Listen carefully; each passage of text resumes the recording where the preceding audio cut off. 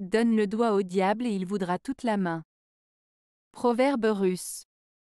Ce proverbe russe signifie que si l'on cède sur quelque chose de petit ou insignifiant, cela peut entraîner une demande plus grande ou plus dangereuse dans le futur.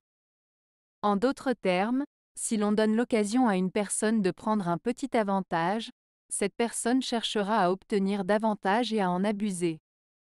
Il est donc important de se montrer ferme dès le départ et de ne pas céder sur des choses importantes.